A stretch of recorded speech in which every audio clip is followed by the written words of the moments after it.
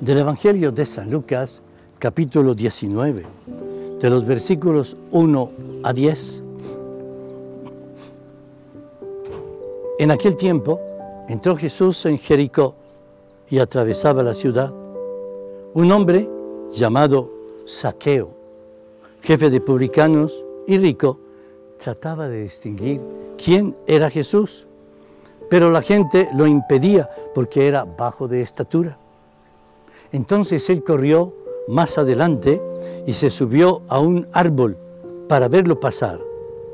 Jesús al llegar a aquel sitio levantó los ojos y dijo, Saqueo, baja enseguida, porque hoy tengo que alojarme en tu casa. Él bajó enseguida y lo recibió muy contento. Al ver esto, todos murmuraban diciendo, ha entrado a hospedarse en casa de un hombre pecador.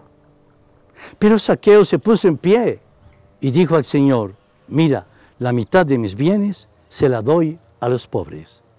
Y si de alguno me he aprovechado, le restituiré cuatro veces más.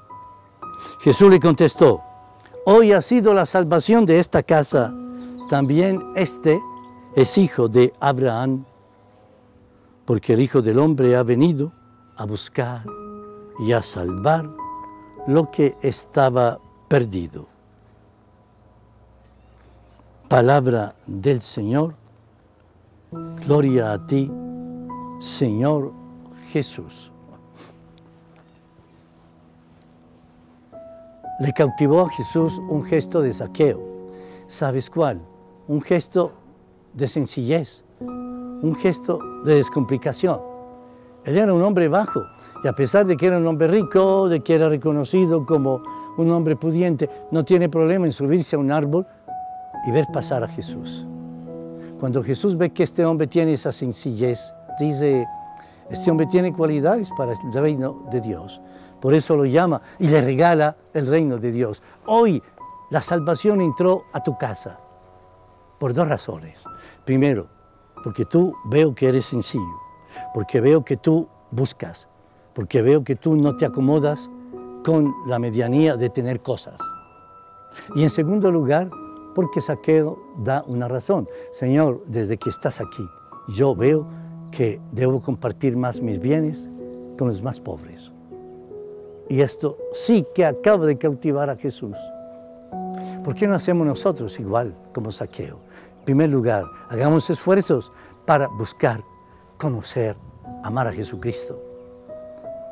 ¿Por qué no tenemos la lectura bíblica cada día? ¿Por qué no tenemos la oración cada día, personal y en familia?